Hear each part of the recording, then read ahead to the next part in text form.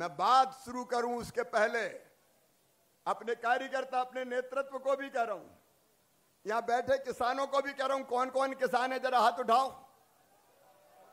तो सुन लो किसान भाइयों,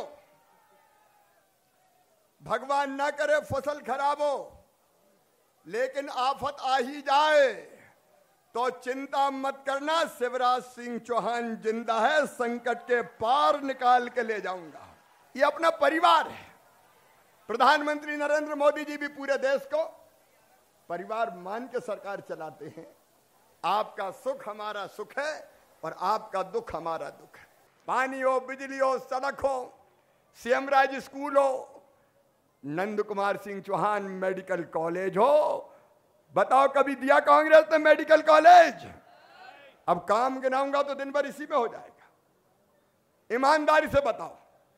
विकास के जितने काम भारतीय जनता पार्टी की सरकार ने किए, कभी कांग्रेस ने किए थे क्या?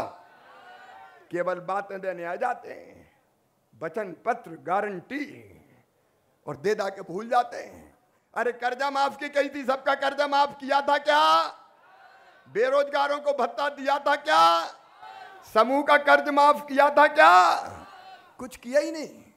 ये कहते हैं और हम करते हैं, मेरी बेटियाँ स्कूटी पे बैठी हैं। ये वो बेटियाँ हैं जो अपने अपने स्कूल में बारहवीं में पहले नंबर पे आई थी। मामा ने वचन दिया था कि पहले नंबर पे आने वाली बेटियाँ हो, चाहे बेटा हो, मामा स्कूटी दिलवाएगा और मेरी बेटियाँ आज स्कूटी पे बैठी है।